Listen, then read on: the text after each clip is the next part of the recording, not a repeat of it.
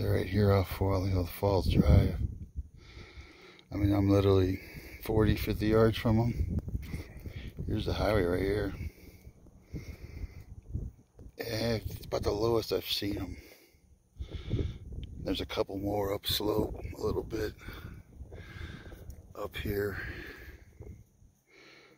you can see them up there. Make sure I'm getting up high enough here. Over there, there they are. Four rams today. There was uh,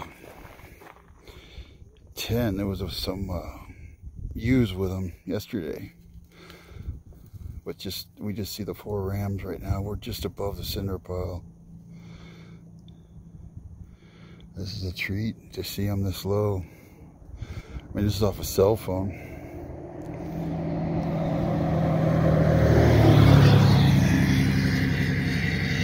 my 400 millimeter. They really fill the frame.